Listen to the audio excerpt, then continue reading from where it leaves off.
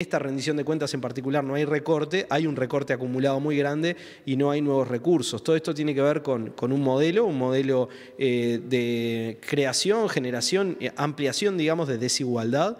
En el país la economía está creciendo, los salarios no, eh, y el gobierno plantea que al final del periodo se va a empatar con el principio del periodo, en el medio los trabajadores y las trabajadoras, los jubilados y las jubiladas perdimos ingreso.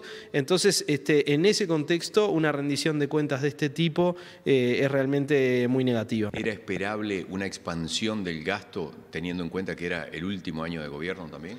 Y bueno, después de tanto recorte, eh, la única forma de remontar un poco esa situación eh, era expandiendo el gasto, eso no sucede, eh, más allá de que hay recursos de los cuales se rinde cuentas de forma muy poco clara también en la rendición de cuentas. Eh, y allí nosotros tenemos este, también nuestras dudas respecto de lo que puede llegar a pasar en el año electoral. ¿no?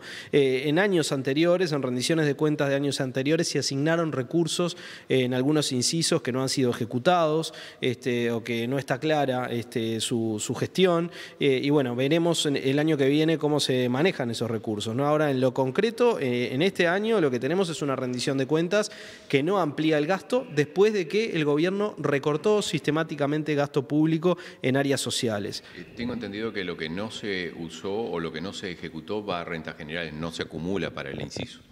Por eso veremos cómo se usa este, en adelante por parte del propio gobierno, ¿no? sobre todo en este año que viene, que es un año eh, electoral. Este, hay muchas cosas este, discrecionales que no, no quedan claros cómo, cómo podrían hacerse, también referidas a reestructuras dentro de algunos incisos a compensaciones.